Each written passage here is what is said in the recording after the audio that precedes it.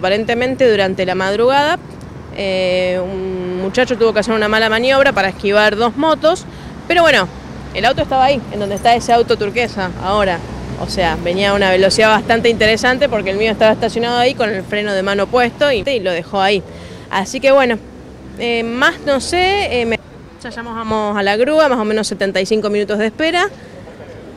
Yo agradezco nada más que no había nadie, que no, no estaba pasando nadie y que no estaba yo con mi hijo en el auto en el momento. Así describió Verónica qué fue lo que vio cuando llegó a Caferata y 3 de febrero, después de haber dejado, como todos los días, su auto estacionado. Sin demasiada información, pero agradecida por el gesto del conductor, esperó la llegada del mismo. A mitad de mañana, el conductor del otro vehículo que intervino en este hecho se presentó en esta esquina y contó qué fue lo que pasó. Venía a trabajar eh, por la calle Caferata, del lado de los autos estacionados.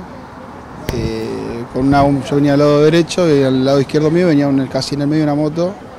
Yo la quise pasar por el lado derecho y porque bueno, evidentemente el, chico no se quería mover, yo lo pasé por el lado derecho, al, quererlo pasar, yo no sé si el loco no me vio o qué pasó, se me vino encima y yo lo que no percaté es que estaba tan cerca del auto estacionado. Entonces cuando yo hice el para esquivarlo, choqué el auto que estaba estacionado ahí.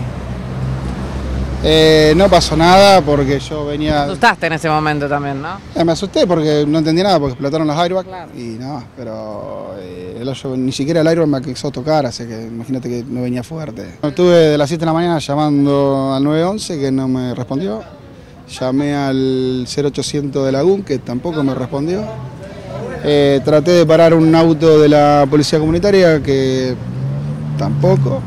Así que estuve desde las 7 de la mañana hasta hace un ratito que me vine a buscar la grúa mía de mi seguro para llevarme.